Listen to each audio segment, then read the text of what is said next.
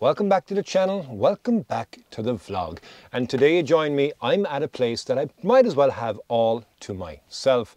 And it's a beach that I've come to a couple of times before and it's generally known for surfing, but there's nobody else here. When I arrived, there was two other cars and now they've just left. So I have the place all to myself. And I've come here the night before because I want to shoot sunrise in the morning.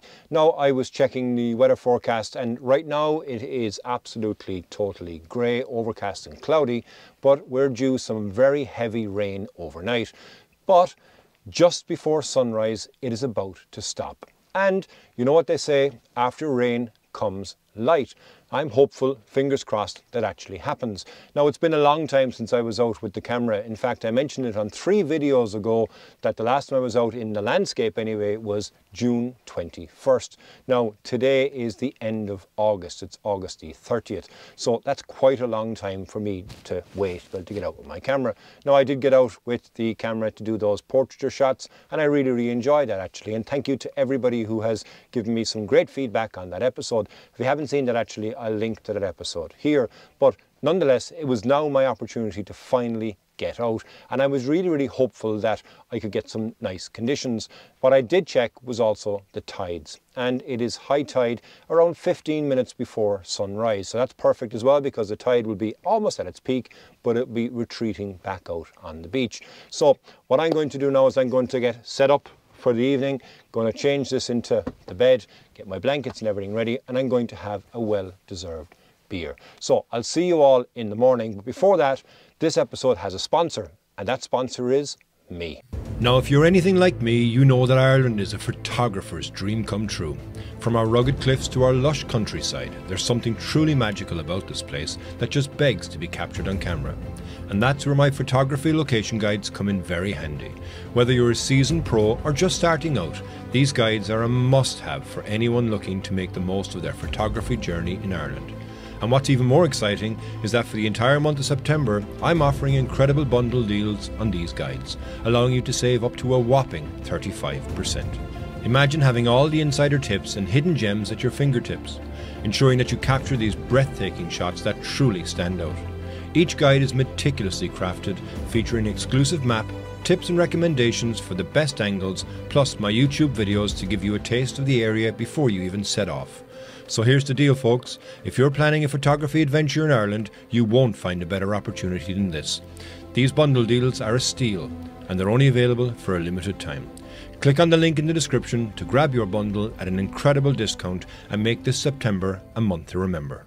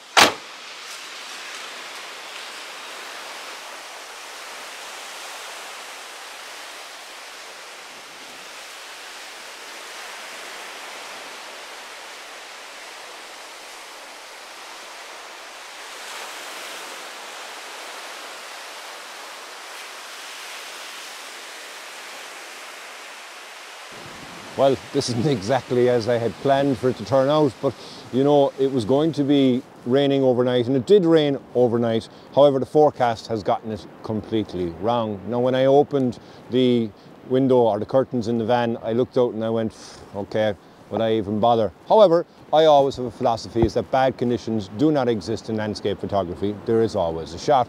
Now, granted, it may not be a banger, but it still can be a nice shot. So I decided, you know what, I'm here, let's go for it. Now I've come onto the beach here and the fog mist that was here earlier on when I first arrived is start, slowly starting to dissipate. So maybe this cloud will disappear. But for now, there's not much really in regards to action or any potential light or anything like that. The tide is going back out now. So what I've decided to do is to look at the headland that I have here, pop on my long lens and just pick out some vignettes and go for some longer exposures, be able to smooth out that water, keep some detail within that rock and I'm going to utilize the headland as well. Now, when I first set up the camera, the far headland, I don't know if you can see it or not in your screen there, wasn't really visible. Now it has, so that tells me that this mist is starting to dissipate like I would have said.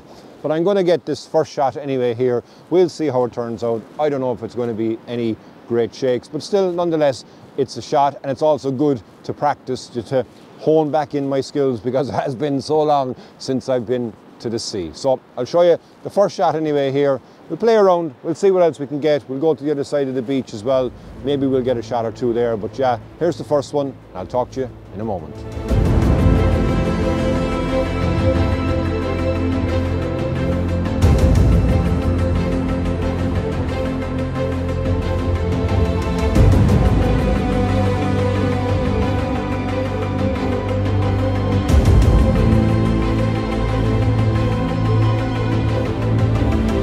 Now I can see that there is a gap on the clouds in the horizon, so maybe the forecasts weren't that far wrong, but they were wrong for where I'm located. But what I decided to do is to go for some totally different types of shots. Now, there's a photographer that I watch, Gary Goff, and he has some phenomenal fine art photography. And what he does effectively is utilizes the scene to make them as minimal as possible. So I've decided to do that.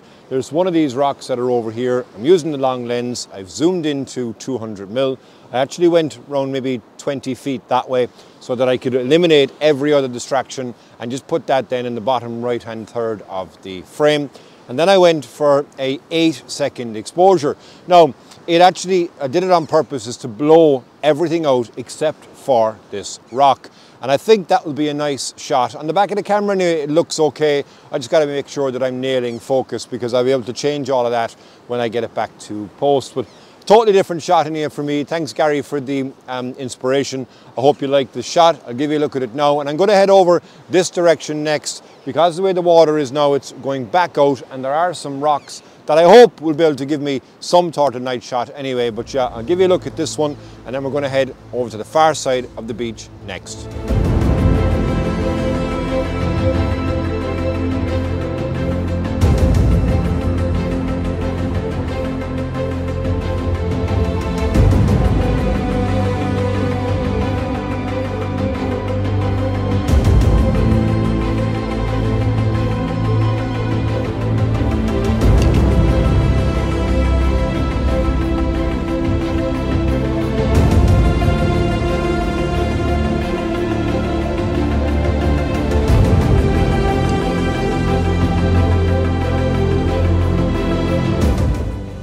Arriving over to the other side of the beach here, as you can see, I'm in amongst some rocks and the water is just about actually still touching the edge of the rocks. So I've changed back now to my wide angle lens.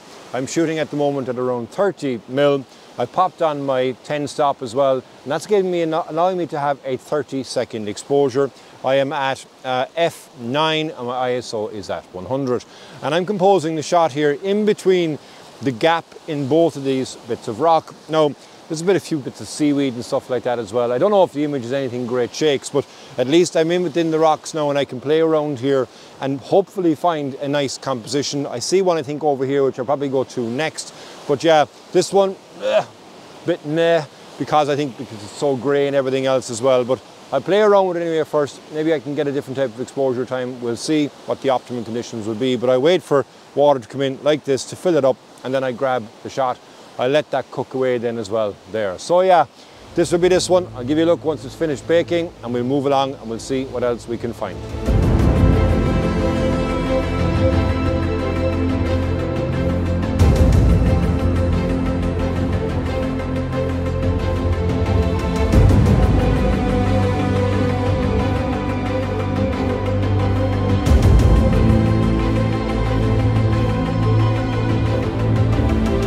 Now for the next shot, I've come over here and there's some nice interesting textures in these rocks, but the water level now is a bit calm, so it's not much really action in relation to it, and it's a bit further out as well. So I'm getting an image which is just the, uh, more or less the sand, and again, there's nothing much in the headland.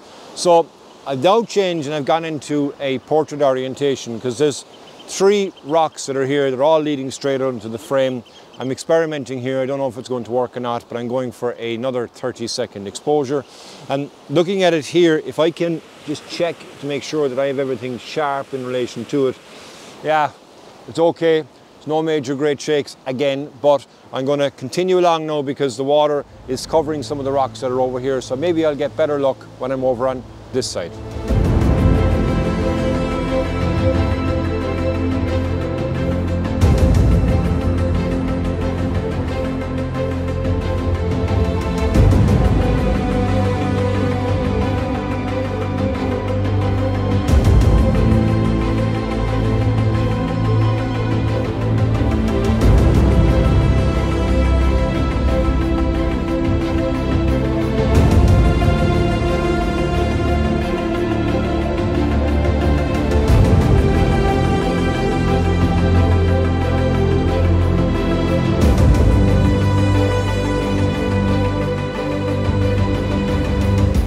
Now coming further over here you can see that there's this set of rocks here which are just leading straight out. So I'm composing those into the bottom left of the frame and then moving out to the right of the frame. I do have a bit of light now that's starting to come ever so subtly on the headlands that are in the distance there. Sticking again now with the uh, 10 stop going for that ultra long exposure, well ultra 30 seconds but I might actually go into bulb mode and push that to a really ultra long exposure because I think I might try and do a bit more of that minimalist that I did on the far end of the beach as well on these set of rocks while I have the water around it. At the moment I'm shooting at f10, 30 seconds and I'm at ISO 100. I'll give you a look at this shot first. I'm going to set it up. I'm going to go for a much, much longer exposure and try and have a complete minimalist scene. I'm going to try and blow the highlights and just leave these here within the image. But here's this one anyway now, and I'll give you a look at the next one after I get that set up and done.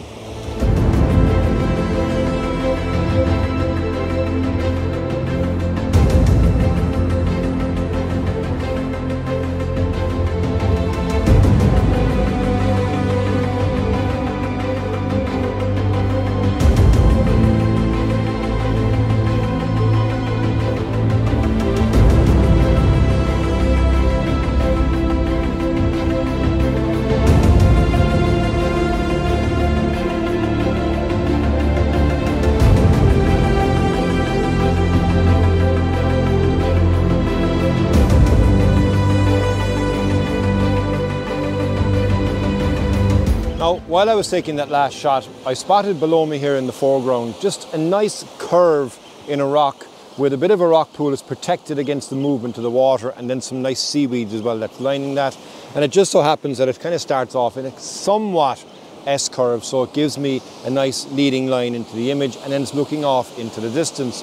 And when I looked at the last shot on the ultra long exposure, because I'm going for a minute and 20 seconds on these, um, the sky is being blown, I know that, but I'm intending to do that anyway. But what it's doing is it's creating nice layering within the image. So by coming over towards this area here, we get some nice layering here. Now this is at one minute and 20. I'm just going to have a quick look and I'll see. And I think that with the different layers that's there, that might work out. I don't know. It looks okay in the back of the camera. It all depends really on what I can do with it in post because today is definitely a challenge of a shoot but nonetheless it's still good to be able to play around with the gear and get different types of shots that I normally would get.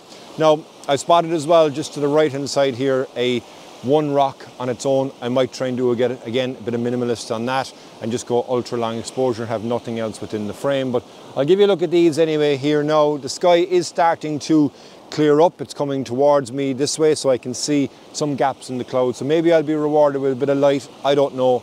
Um, but I'll give you a look anyway, like I said, at this, and then we'll move on. And possibly, maybe my last composition over here. We don't know, we'll see what the light will do.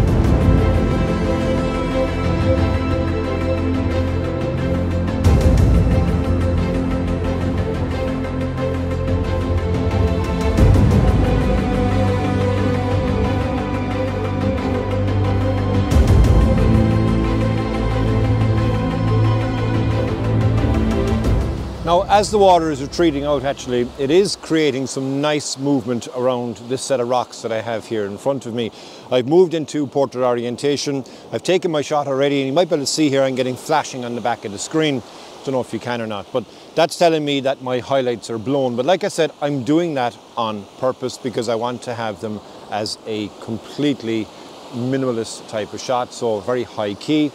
Um, with the water as well here and at 120 seconds, so two minutes uh, of an exposure time, you're getting no texture whatsoever in the water and you're just having the detail. And this rock here looks like it's coming out of nothing below me. Now I am getting some nice light into the distance as well, but I don't know if I'm going to hang about or anything like that. Um, I do think this probably will be my last one. Maybe I'll have another one just up over here, similar rock to this, but a bit more water because as the water is going out now, it's getting harder and harder to find a rock that has the water around it. So I'll give you a look at this one here. Yeah, I'll probably go and I'll try that last one over there anyway, and that definitely will be my last shot from the morning.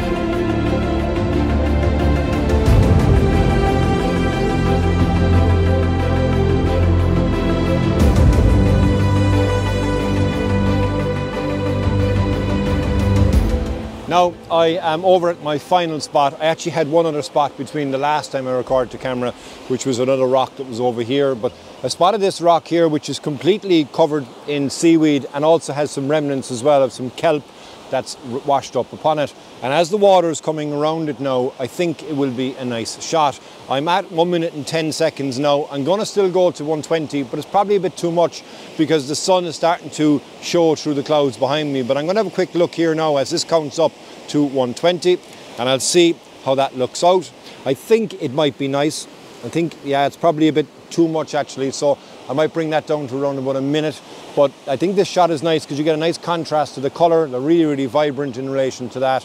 Still with my 10 stop on as well. So yeah, uh, today has been totally different actually to normal. Now I normally tell people when you're out shooting, watch your histogram, don't blow your highlights. But today I blew my highlights on purpose.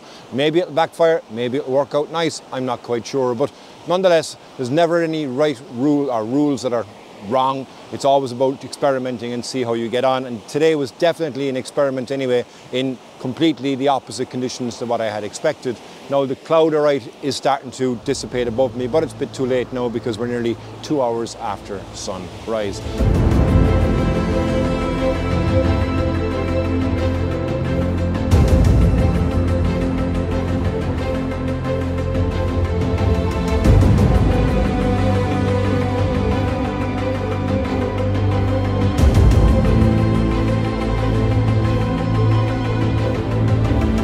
Thank you very, very much for watching this episode. I hope you enjoyed this totally different uh, adventure. If it's your first time on the channel, I'd really appreciate if you hit the subscribe button, give me a like, give me a comment. And if you want to watch another episode, I'd recommend this video here. And until the next time, go fóill.